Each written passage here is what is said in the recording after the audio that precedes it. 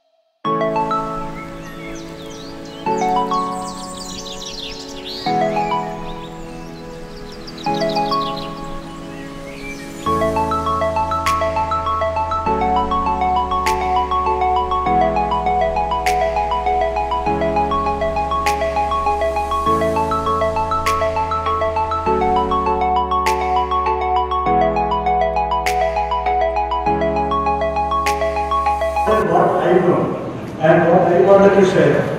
So, so then, uh, then I will talk what exactly is needed to become, what exactly is needed to become scientist or uh, uh, in any of your chosen area of work, how to excel, how to become. And I have seen some of the students uh, uh, seeing, finding it difficult to explain and becoming uh, nervous. In fact, in, during my school days, I was much more nervous than you people.